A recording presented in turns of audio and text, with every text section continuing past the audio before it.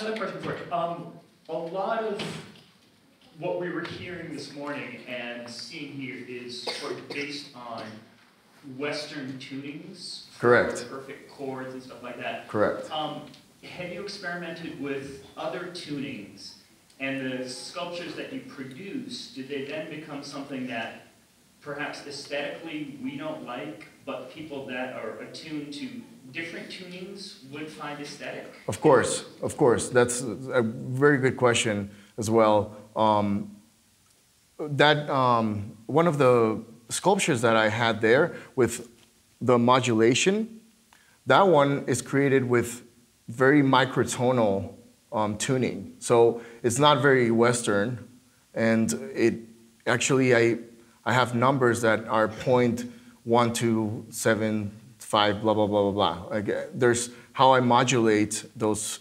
sculptures. It's actually for my eye. It's not even sometimes how it sounds because the sounds are not really pleasing and they don't have rhythm. So it's just a pure tone. But when I shape those sounds, I actually do microtonal changes to make those. So thank you.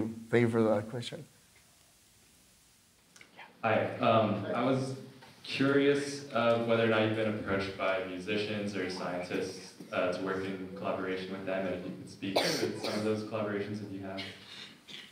Well, um, I've I haven't had much of that yet. Uh, my dad is a scientist, as well as my mom, and I've worked in collaboration with um, the Louisville Orchestra and Teddy Abrams as the conductor. He, he was amazing, but I, I haven't had, you know, an opportunity where I, I really work with somebody else uh, into that realm.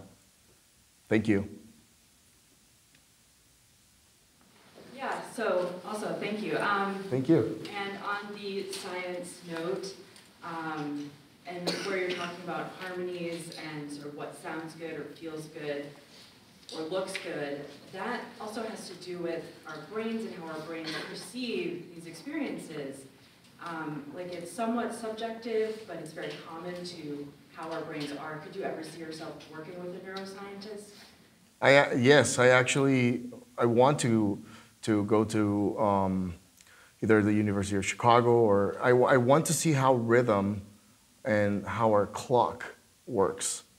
Uh, I know the hypothalamus um, has the main sense of uh, balance and time in our brains, but I really want to explore more of why we have that rhythm and sense of, of time.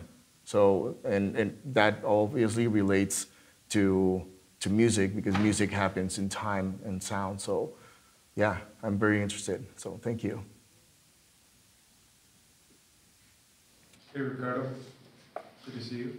Over here. Oh, hey, how are you? Oh, Oh, are you? Just have a quick question. I know you work a lot with pure tones, microtones, and intervals, and all the way up to an octave. But have you ever experimented with snapshotting a song, like a moment in a song, and how how is it more difficult for those complex harmonies of multiple instruments creating standing waves and different relationships? I'm just wondering if it's even possible to create snapshots of more complex music versus sine waves, or moving it from a simple wave to lots of waves working together, and how have you navigated that terrain yet?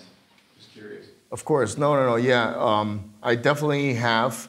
They're just very convoluted, so they're hard for at least my eye to um, see clearly. The reason why these sculptures work is because there's space between them and there's not a lot of information. But transients, like you're talking about, they have a lot of information, and sometimes visually it's, it's not that pleasing to my eye, and it just looks like a bundle of just you know noise. So you know you could take it to the particle level as well to that, and then you would see the, the probably the same thing, and just but I play with pure tones and to make the sculptures just look pleasing to my eye. So thank you. What's up, Ricardo? I think we have uh, two more questions. What's up, buddy? Hey, what's up, Brooks? How are you? What's up, man? So what is your dream project with this art form? Like, what do you see as like the penultimate of this type of art form and art energy that you're making? Um, thank you for your question. That's a very hard question. I don't. I really don't know. I think it's um, for. I don't have one, and it's my understanding of life.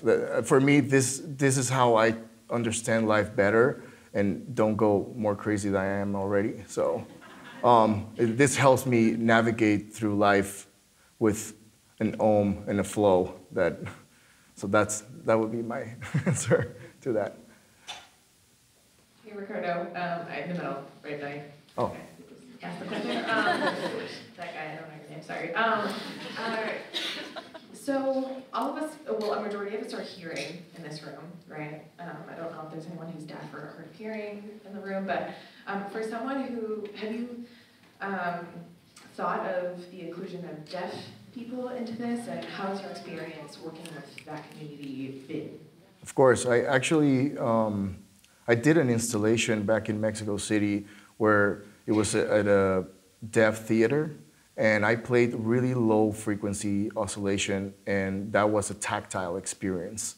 So it was for deaf people, and they were feeling sound and touching it. And I want to make this here in Chicago, so I'm trying to. If you guys, you know, know anybody that can um, help me with this, I would love to do it. Yeah. Yeah, um, yeah, we should talk after. For sure. Thank you. Last question? Yeah? Okay, okay. I just, I'll, I'll keep going. Last question. think, uh,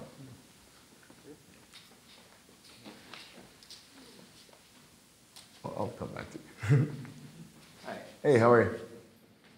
Uh, this question is kind of basic, uh, just in terms of conceptualization, Mhm. right? Being capable of so much, right? In terms of visual output, how do you decide what concept on an audio level is going to be paired up with a particular visual output, right? Like 2D versus 3D, sculpture versus painting or screen printing? Um, I think that's a little bit more like um, improvisation in a way. I just, you know, if I like that, um, if I if I'm looking at something, and sometimes it's something you stumble with. You know, with the process, you stumble with this little kind of um, not mistakes, but these little gestures that life gives you while you're creating, and then you're like, oh, that would be awesome for 2D, or this would be 3D. But sound sometimes is related to the structure. Sometimes sound is not even related. I'm just trying to visualize something that looks cool.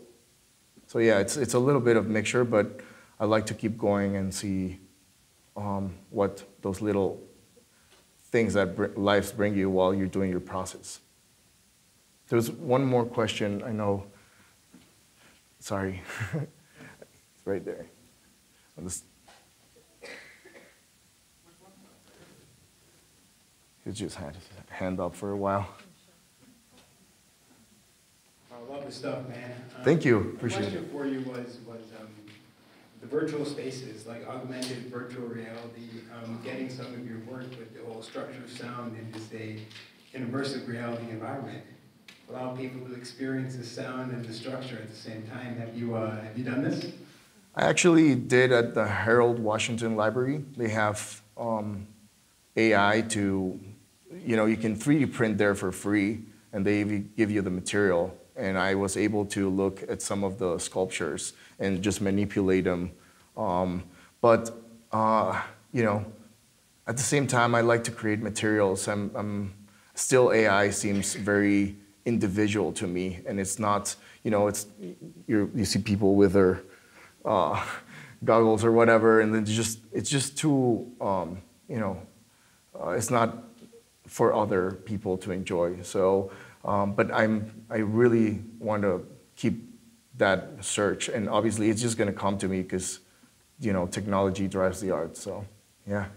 And uh, on a totally re- unrelated note, the, uh, the sound in the brain thing you were talking about, the, uh, the Grateful Dead's drummer Mickey Hart, super into this. Um, he works. Oh, yeah. He works with neuroscientists in San Francisco, and they they record his brain while he drums, and it's pretty magical stuff. Um, Thank you so much. Yeah, I have a, a book of him, um, and I think it's called the the Rhythm of Life or some, something like that. But it's it's where rhythm started, um, and I, I think he said that the first drumming was the chest drum.